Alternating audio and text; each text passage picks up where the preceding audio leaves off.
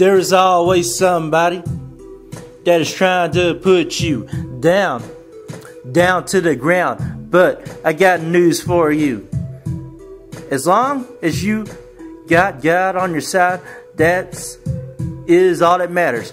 Because as long as you got Him in your heart, he will lead and guide you in the right direction. And the love of Christ is in your heart because He will bring the fight in and desires and the passion and the love is in your heart.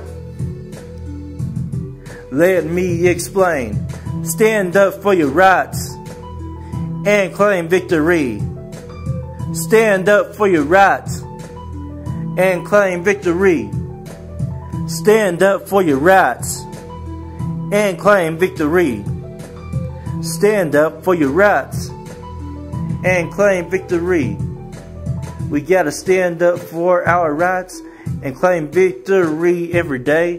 And I'm talking about not self pity. When you claim victory, you're telling the devil that I'm not taking a back seat, but I'm gonna claim victory. I'm not gonna sit down and I'm not gonna take a back seat anymore, but I'm telling the devil that I'm tired of getting beaten.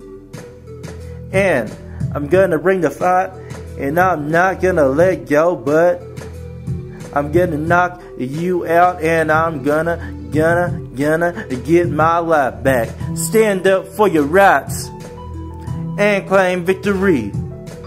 Stand up for your rights and claim victory.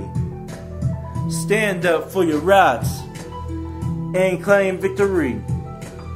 Stand up for your rights and claim victory in the name of Jesus. The Lord is my shepherd and I shall not want. You got to stand up for your rights and claim victory in the name of Jesus. Yeah, we all go through troubles, trials, tribulations. But as long as you claim victory in the name of Jesus, stand up for your rights and claim victory. Stand up for your rights and claim victory. Stand up for your rights and claim victory.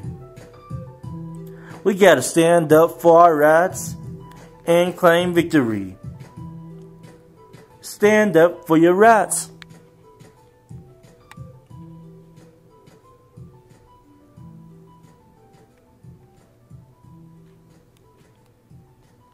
Stand up for your rights and claim victory.